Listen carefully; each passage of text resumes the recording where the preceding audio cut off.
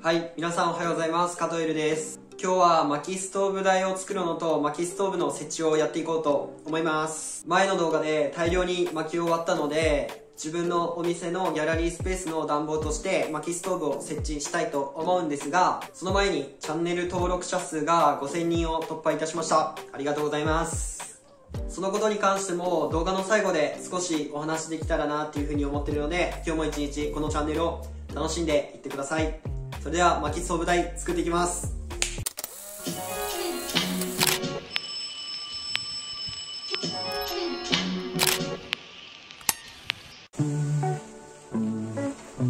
はいということで薪ストーブ台を作っていくんですがこの部屋の角に薪ストーブを設置したいので他の部分が汚れないようにブルーシートで保護していきます。この土間になっている床や白壁も過去の動画で全て自分たちで作っているのでそちらの方もぜひチェックしてみてください。よろしくお願いします。薪ストーブ台の外形に合わせてビニールで養生していきます。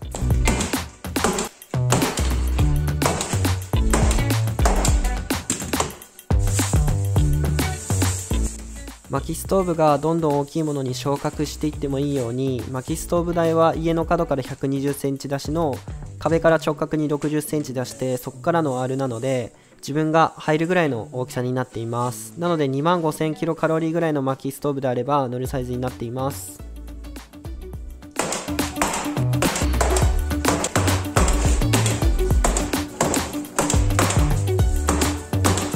養生完了です。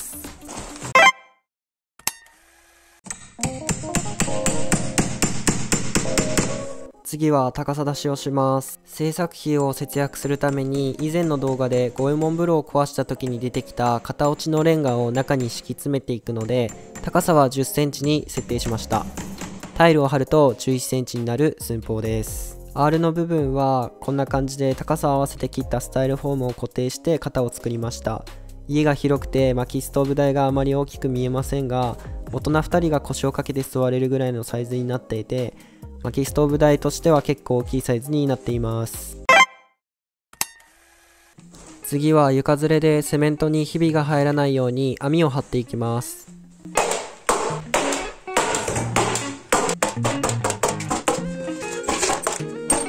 網止めに使っているタッカーなんですけどもうずっと使っていて外枠の鉄の部材が変形して芯詰まりが多発するのでもうそろそろ買い替えないといけないですね。購入したらサブチャンネルの方で紹介しようと思ってるので概要欄の方にリンク貼っておきます。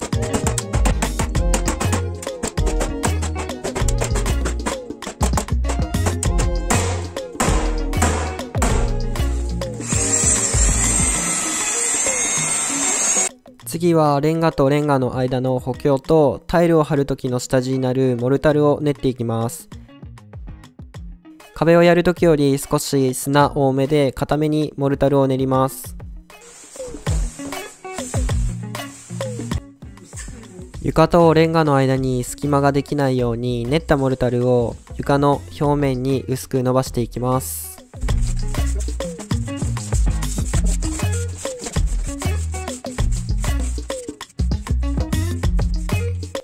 もう気づいてる方もいるかもしれませんが今回の動画からナレーションを取るマイクが新しくなりました。音質の方どうでしょうか？徐々にできるだけ見やすい動画を投稿できるように周辺機器も整えていこうと思ってます。まあそんなことを話しているうちにモルタルを塗り終わりましたね。次に五右衛門風呂を壊した時に出てきたレンガを並べていきます。このレンガは長時間外に放置されていたので乾燥していてモルタルの水分を吸うと割れの原因になるのでしっかり水分を含ませるのと同時に黒くついた灰を洗い落としてから並べていきます。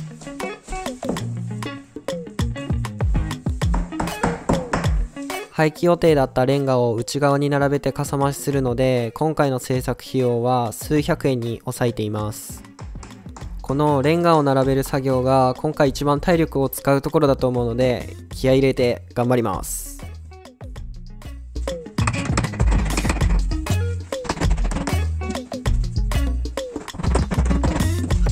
こうやってレンガの形を見てできるだけ隙間がないように合わせていく作業は自分が普段やっている寄せ木細工に結構似ていて長時間作業することに慣れているので比較的楽な作業だったと思います。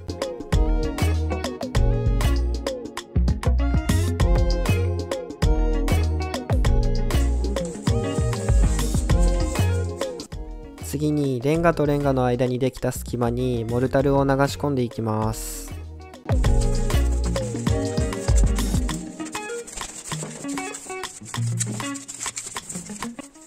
今日じいちゃんがかぶっている赤と青の帽子はこの前じいちゃんにプレゼントした帽子になるんですけどプレゼントしてから毎日かぶって作業をしてくれています。次はタイルを貼る前の最終調整で水平出しをしていきます。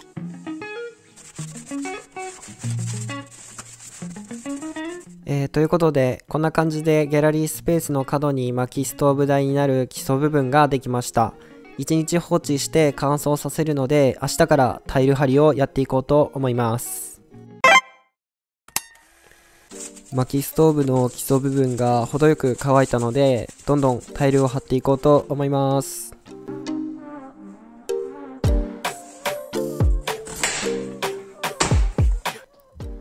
次にタイルを切っていきます。高さが11センチになるので規格に合わせて30枚ほど切っていきます。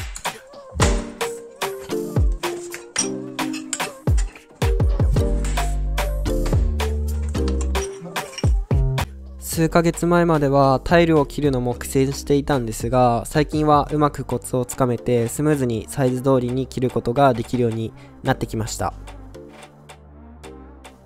次にどこにどのタイルを置くのか仮置きしてみます。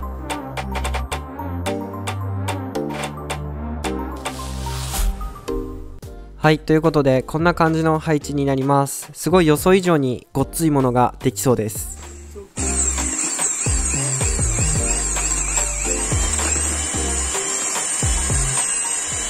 次にタイルを貼るモルタルを練っていくんですが昨日作ったモルタルと違って砂少なめセメント多めで昨日のものよりきめ細かいモルタルを作っていきます。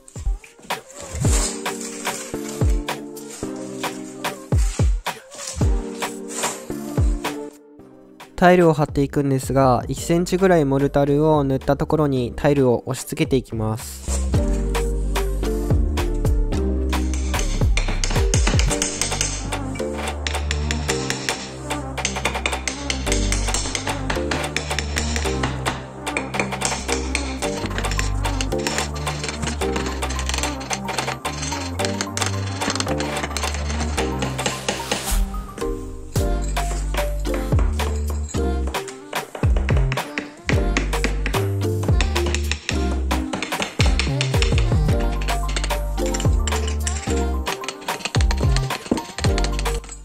表面のタイルを貼っていくんですが縦方向は隅に合わせてタイルとタイルの間の隙間は目分量で揃えていきます。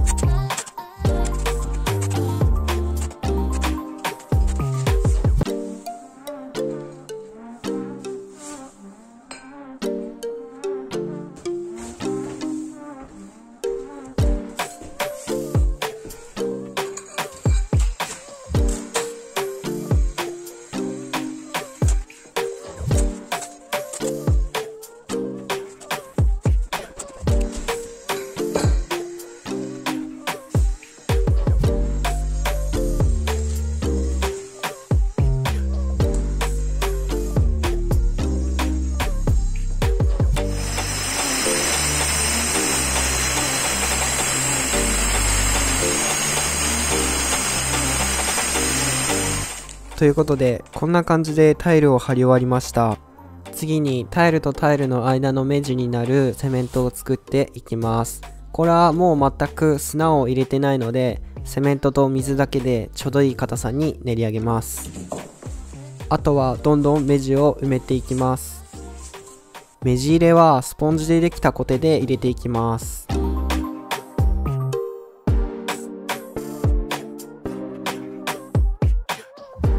サイドの立ち上げもしっかり丁寧に目地を詰めていきます。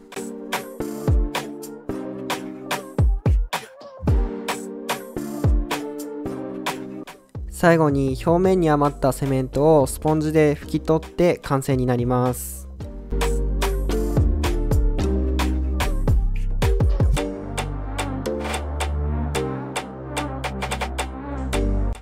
ということでこんな感じでとりあえず完成したので1日乾燥させてからいよいよ薪ストーブを設置していこうと思います。ということで薪ストーブの設置をしていくんですがまず煙突を外に出すためにこの養生してある部分の壁を壊して穴開きを割っているブロックを入れていこうと思います。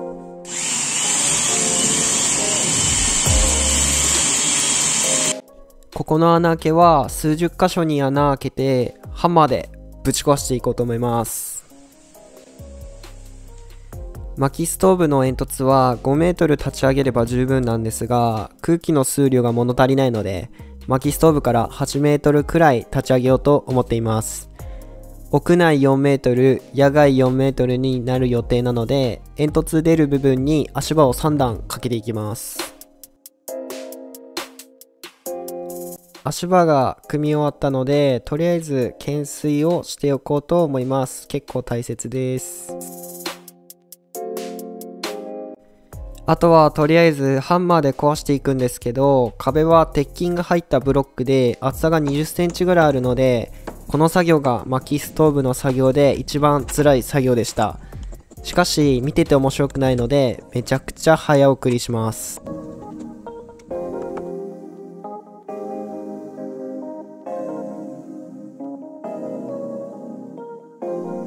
はい、こんな感じで壁に穴が開きました。動画では10秒ぐらいだったんですけど、半日かかってます。めちゃくちゃ筋肉痛です。ここに煙突の入るモルタルで作ったブロックをポンと入れました。外側と内側から見るとこんな感じです。ここだけ灰色になってると目立っちゃうので白セメントで白壁に戻していきます。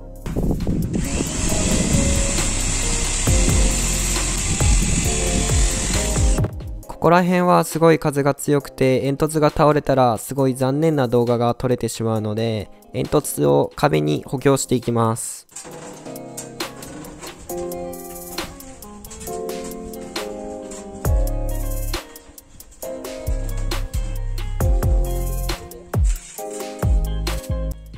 鉄の部材を壁に打ち付けたものにワイヤーで煙突を固定する作業を3箇所しています。これまで撮ったタイムラプスの中で一番綺麗なタイムラプスが撮れました。煙突の補強が終わったので足場を解体します。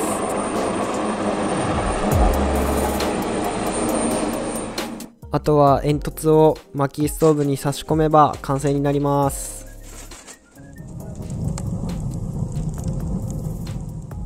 これでお店のギャラリースペースをこの薪ストーブで温めていこうと思います。ということで無事に薪ストーブが我が家に仲間入りしました。動画の冒頭にもあったんですけど先日チャンネル登録者5000人を突破して今の率直な気持ちを少し動画にしておこうと思います。今年の3月に高校を卒業して手ぶらで高須町に戻ってきて本当にたくさんの人に支えていただきながら数ヶ月間古民家の改装をしてきました。いざ YouTube を始めて周りを見渡すと同世代で自分よりもっともっと活躍している人がたくさんいて私自身もっと頑張りたいなっていうふうに思ってます。これからも動画投稿や他の活動を通してもっともっと大きくなりますのでぜひチャンネル登録して私の泥臭くて桁外れな人生を見守っていただきたい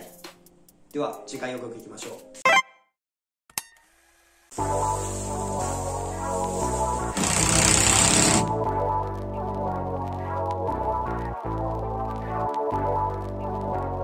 Why am I looking at you?